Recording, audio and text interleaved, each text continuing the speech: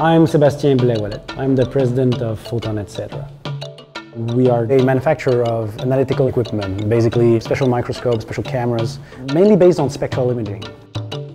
You look at an object uh, with a camera. Normally, you only see the image. When you have the spectral image, you have this capability to look at the chemical composition of any object in front of you. You can imagine right away a solution for industrial problems or for a medical need. We have microscope plus our camera producing one big platform which is sold around the world. So for material analysis under microscope, that's very interesting. We have also an optical filter which is connected to a white laser. It separates the different colors of light where you can decide the color of your laser at will.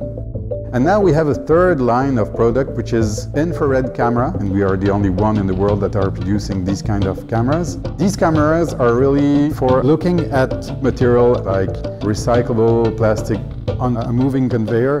The camera in one millisecond can determine what kind of plastic is under the camera and then sort the plastic.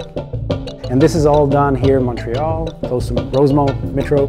It's an interesting area, full of artists and, and creative, uh, creative people. The entire atmosphere of this company, with the team discovering, sharing ideas freely.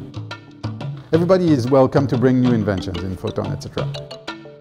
When people meet us at Photon, I want them to say, oh, they're smart, but they're nice, they're so accessible, I understand them. We want to be the translator between the high tech and the needs of the world.